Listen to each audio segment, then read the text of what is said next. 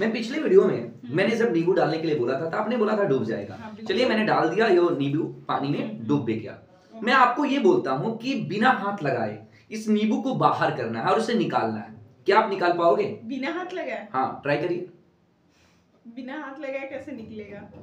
नहीं हाथ नहीं लगाना है। तो चलिए बिना हाथ लगाए निकालने की कोशिश करते हैं। क्या आप निकाल पाओगे? यदि हाँ तो कमेंट सेक्शन में कमेंट ज़रूर करिए। बहुत ही सिंपल है। पानी के कंपेयर में नींबू का डेंसिटी ज़्यादा है, जिसकी वजह से नींबू पानी में डूब चुका है। तो चलिए स्टूडेंट्स मैं इस नींबू को बिना हाथ से पकड़े हुए इसको ऊपर निकालता हूँ।